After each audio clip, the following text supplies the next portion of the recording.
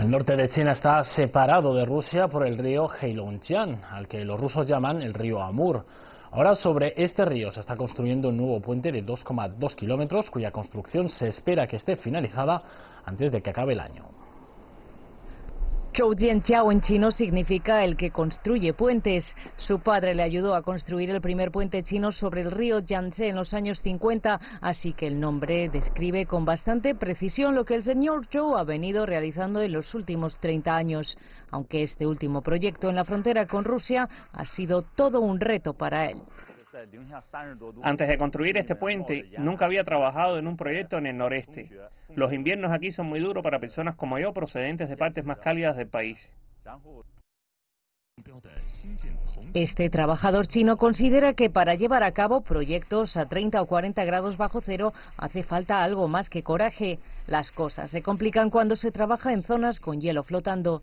La construcción del puente comenzó en 2014, pero se vio interrumpida debido a algunos problemas con la parte rusa.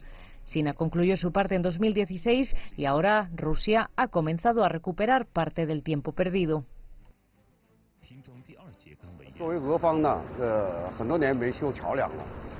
Hace mucho tiempo que Rusia no participa en este tipo de proyectos, así que los ingenieros de ambas partes tienen que reunirse con frecuencia para solventar las dificultades técnicas. Hemos esperado pacientemente para que nuestros socios rusos finalicen su trabajo, lo que a veces se ha traducido en algunos sacrificios económicos por nuestra parte.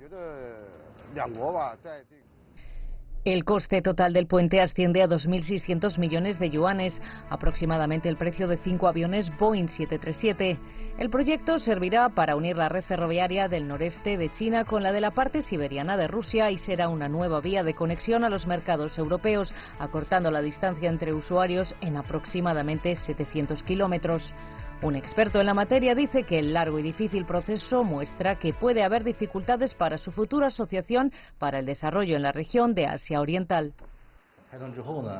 El puente proporcionará un servicio que la provincia de Heilongjiang y la región de Asia Oriental necesitan, porque cuantas más infraestructuras fronterizas haya, mayores oportunidades para el flujo de bienes y servicios. El comercio de Heilongjiang con Rusia alcanzó los 11.000 millones de dólares en 2017, lo que supone un 20% más con respecto al año anterior. Cuando el entonces viceprimer ministro Wang Yan se reunió con el vicepremier ruso Yuri Truchnev en Harbin a principios de este año, ambas partes acordaron que la frontera compartida puede potenciar una cooperación más estrecha en ambos sectores.